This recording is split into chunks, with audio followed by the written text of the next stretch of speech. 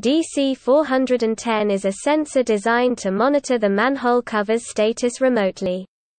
When the manhole cover is moved, or the liquid level reaches threshold, the data will be immediately sent to cloud server through built-in wireless module, LoRaWAN, Sigfox or NB-IoT. Based on low-power algorithm. Internal battery can work for more than three years. Users can check data on the platform. Welcome to contact us for more information.